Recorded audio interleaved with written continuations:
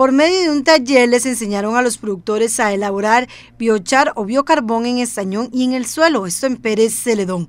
Estos bioinsumos son esenciales para recuperar la microbiología del suelo y al final el biochar que se inoculó con microorganismos de la montaña.